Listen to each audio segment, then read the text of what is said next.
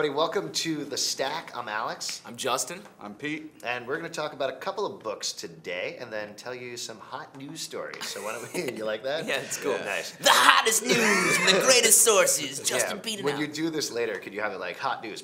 yeah. Explosions. Yeah. Yeah. We'll add that in post.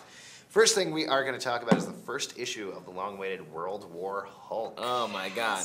If you talk about excitement, Pete's literally radiating heat because of this book. He's full of gamma rays. yeah. Oh, Hey. I'm sterile. So um, Unrelated. Unrelated. I was so excited for this book. Absolutely could not wait. Counting down the days, and I was disappointed right off the bat. What? Really? Why? I Because- thought it was very good. I I liked it overall, but at first I was really disappointed because it was like they talked about how angry Hulk is, how he's gonna come to Earth, destroy all the puny humans. It's over. It's done. Everyone's dead. Run for your life. So what happens? Hulk pulls up, goes, "Hey guys, listen. I'm gonna prepare a speech. It's gonna be really well done. Um, you have 24 hours to evacuate.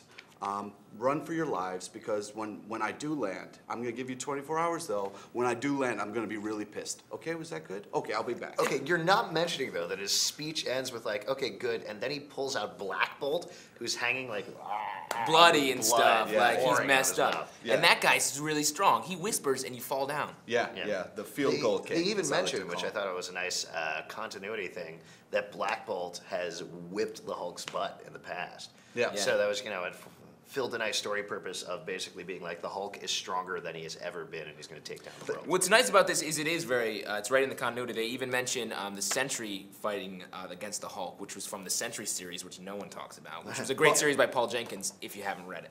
But not good continuity is She-Hulk. She-Hulk lost her powers. She shouldn't even be. Ah, look at these, look at these. um, um, Twin figures of evil of continuity as well as we uh, uh, last I heard, She-Hulk was not supposed to be fully operational. I know, but then she got it back. because How? that When? guy Amadeus um, turned it off. Because he, One had- guy- he made her drink a soda. Wait, when did that happen? I'm sorry. Incredible she Hulk drank a 106. soda. Yeah, Incredible 106. She drank a soda. Uh, here's the deal. Okay, in when the you drink Marvel, soda, in it- the Marvel universe, they like to quantify and rank people almost constantly. Like in this book alone, there's uh, the Hulk is the third strongest person, and then he beats up Black Bolt, and they're like, well, maybe he's the second strongest person.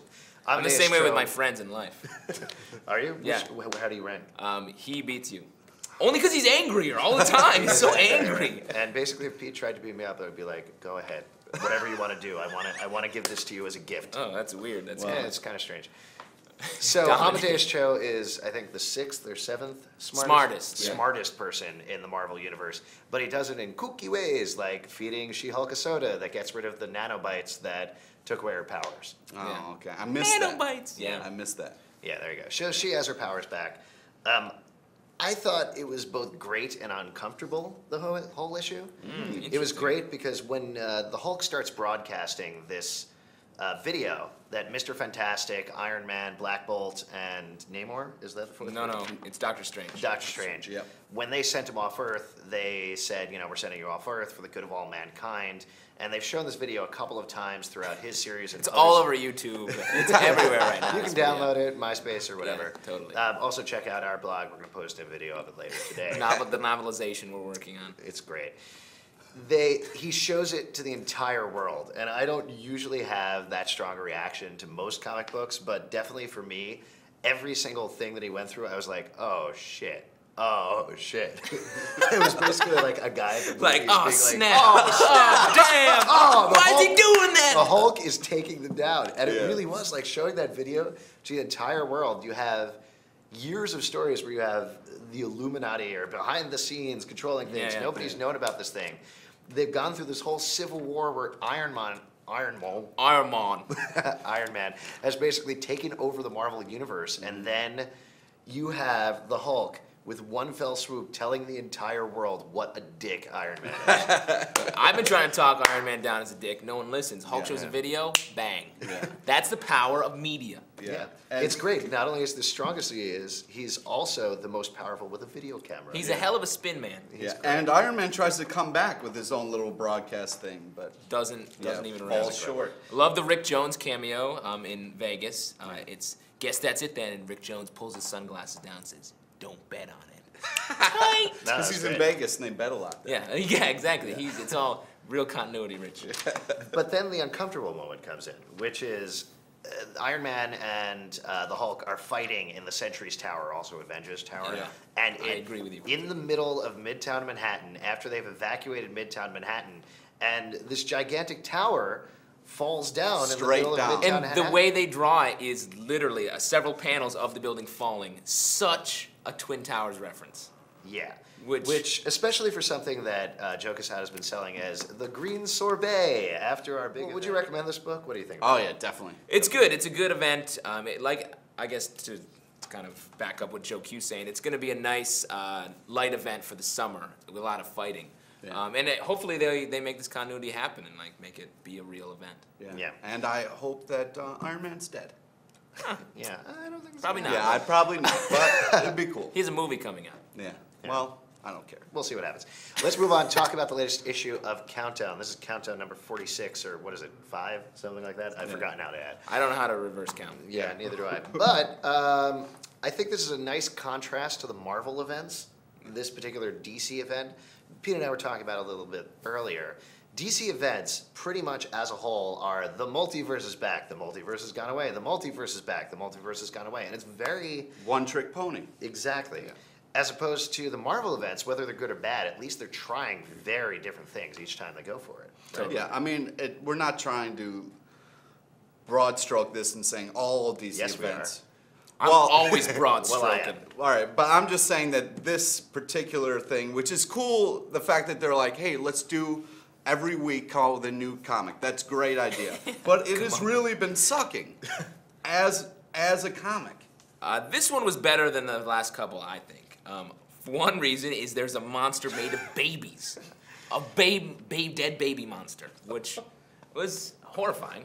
Yeah, That's sure. ridiculous. Huh? That's- Yeah, I a was little like, this ridiculous. is not only does this comic suck, but that is And the, his power is to throw babies at Mary Marvel. and and he talks to Baby Marvel. He's like, "Please, just let me eat a couple of babies." Yeah. like the really bad babies. You'll barely throws. miss a few babies, am I right? I'm hungry for babies. And he, if you open it up, it's like one of those greeting cards where it talks to you. Yeah. So it's like, I want baby. I want babies. baby, what I also I love you.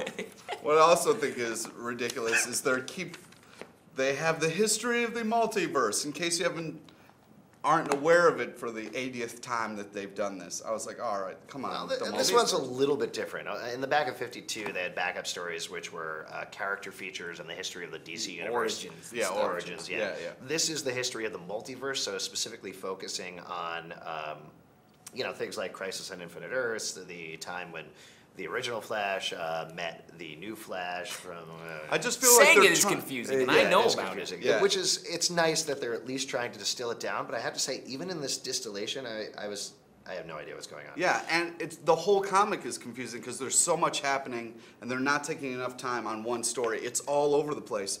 But I also feel like having that in the back is just like they're trying to sell, hey, multiverse, huh? Huh? Multiverse. It's Yeah. like no. It's like my little brother's cool, right? Yeah, he can hang come with on, us. come He can on. hang with our gang, right? My biggest problem with this whole concept and what they're doing with all of this is it's an attempt to explain things that writers have done Yeah. that they thought, oh, this would be a fun story to do. And then because fans are like, wait, but that doesn't match up in continuity, they say, oh, but it does because blank impossible man did this or this multiverse thing this and it's just it's unnecessary you know as long as there's fun good stories i don't think at the end of the day it really matters and you can't listen to those complaining fans who say Yeah. oh just because you know there was a new flash for one issue we need to explain that It's like if you were married and you were like, baby, I'm not cheating on you. I just I joined the circus, and then you go and join the circus. What? no he's right You know what I'm saying? Like you lie once, then you're like, then you have to back it up. So you start By juggling, circus. Yeah, you start yeah. lion taming, and that's what they're doing. This is just a big lion on your taming. wife I am not married, but Okay. I'm cheating on my future wife. cool All right. So This, no one's gonna see this, right? Yeah. this new, uh, I'm really. Wait, got one, me one more thing about this. One more thing about this. Um, Jason Todd gets beat up in this, and underneath his mask, he's wearing another mask. Like I love it when they do that. His helmet gets split, and he's still wearing a mask. Like, i'm wearing a shirt under my shirt true, but it's pretty crazy All right, I like how he compared Touche. yourself to Jason Todd a lot. Yeah. I'm a badass. She came back to life, you know? Yeah, all right. Yeah. Yeah. If I Alright, split that shirt in half, I'm hungry for babies. Give us babies. Give us babies. Speaking of babies, Time for fourth meal. Go Yeah. on. Hack Slash here is a new baby to me. I have uh, fallen in love with this baby. You're gonna eat that baby? No, I'm not. Um, You want to. you have turned me on to this series, which You have turned me on to, To this this series. series. yeah. Uh, Hack Slash number two. I am so all about this. Uh, so much fun. Uh, a lot of Hackslash, cool we, stuff. we talked about it a little bit before, but it's uh, a great series. It used to be a series of one shots and mini series about Crossovers. yeah crossovers. Chucky. Oh yeah. Yeah. Cassie Hack is a slasher who slashes other slashers. That's pretty much Yeah. the log line of it. She's the girl who survived at the end of a slasher movie and then came back and she hunts down these slashers, which are essentially like mystical creatures that keep coming back from the dead, just like they mm-hmm. do in the movies. So Yeah. Um, she, with her monstrous but nice ally Vlad, travels the country trying to kill Vlad. other slashers. Here's the great thing I think about this ongoing series. I always felt like the miniseries and the one shots, they didn't really have a chance to develop the Yeah. characters. It was Yeah. kind of the A same lot of parody. Yeah. Yeah. it was a lot of parody and a lot of focusing on specific movies. Like they had a crossover with Chucky. I think they had one with Evil Ernie as well. This series is Evil Ernie? great. I don't know. I I just wanted to throw that in there so I sounded smart. but the ongoing series takes the time to really develop the characters. It's nice because it has the parody element, but it also has a good story underneath. Yeah, yeah. Right. And it would, and one was a great example of that is she's shopping in a dollar store, and Vlad's like, you know, very protective. She's like, "Can you just back off a little bit? Like, I'm gonna be fine. I'm just one aisle over." You know. Yeah, as- she was shopping Yeah. for underwear. yeah. yes, sexy underwear. Sexy, sexy underwear. There's nothing wrong with that. Yeah, so I'm going to join the circus. Liar. You're cheating on your wife. Uh, in this issue, I mean, just to talk a little more about the parody elements, it's a hair metal band that has actually sold their souls to the devil. Great. And are sending virgins to the devil as Yeah. tribute so that they can keep being a popular hair metal band. Where, where are they doing the show though? They're popular, but doing a show in like Chattanooga. I don't know. I'd sell my soul for Chattanooga personally, but I don't know if I was. If Well, I it's was the first. It's the first of their big tour, so uh, Yeah. let's give them a break. The end of the issue, to give you a little Uh-uh. spoiler, is uh, they've sent all of the virgins In the audience, audience. Yeah. under their stage as groupies to hang out, uh, so that they can um, be in hell. Yeah, you like that? Later, uh, they're gonna probably have sex. Yeah, or sacrifice. I know the how rock the wor- the Vlad, rock world works. Vlad doesn't get let underneath, even though he's a virgin. Uh, so he doesn't get let underneath the stage because he's too ugly and he's a big hulking guy. A friend of theirs is like, you know what you're gonna have to do, right? You're gonna have to get laid. Hilarious. Doo-dum-doo. Yeah, which I thought. But he's a- ugly, so it's impossible, right? Because ugly. Oh man. As a What a huge twist. cliffhanger thing that they were building up to, it made me laugh. I No, it was very funny. Yeah, I laughed, yeah. especially such a series that paints itself as a real violent thing. And Yeah. the big cliffhanger is like, will this ugly dude get laid? Tune in next time. yeah. So I really can't recommend it highly enough. I think Yeah. the art, especially in this ongoing series, is great. The writing's great. They've really stepped up their game from the miniseries and the one shots. Yeah. You've really turned me on. To Moving that on. on. I thought there was going to be an end to that sentence. That's interesting. Nope. All right. let's- Speaking of spoilers, yeah, New Avengers here. This this comic was bad, and it was like the cover shows uh, Elektra being killed, and that's the big reveal at the end. that's not the. That's big not the big reveal. Yeah, they're like last No. page. They're like, "Hey, she's dead." Well. Okay. Did you stop reading halfway through? Because No. there is more after. Well, All right, there is so more, here- but here's the I'm deal. saying that like, don't New put the- Avengers. This issue was fine. I was fine with it. Yeah. It's, they're still fighting the Hand. Hundreds and hundreds of ninjas. They just won't stop coming. The Hand is run by Elektra, and then Elektra got killed. And here's the big spoiler: is Elektra turns out to be a Skrull. So alien shape changer has replaced Elektra at some point. Mm-hmm. and the new Avengers are standing around saying, "What does this mean? What's going on?" Just like obviously the reader is. so It really here- brought us in. Like I yeah, felt so like here's was the question here. Um, a lot of people have been asking because of the stuff that's been going on in the Marvel universe, what are they going to hit a reset button? And they keep saying no, they're not going to hit a reset button. Absolutely not. This isn't the DC universe. Yeah. They're not going to be like, and it's a new day in the Marvel universe, and everybody forgot everything. Because Iron Man used to be nice. Now he's a dick. Skrulls, dicks. Do the math. There you go. The Also. Spider-Man revealing himself. I think he'd probably also be like, "Oh, that was a Skrull." Oh, that's a good mm, cover Right? up. Yeah. Yeah. So the Skrulls are essentially a way of having a reset button without having a reset button. Yeah. It explains all of the things that have been going on. Maybe Scarlet Witch was replaced by a Skrull that caused House of M. Oh, yeah.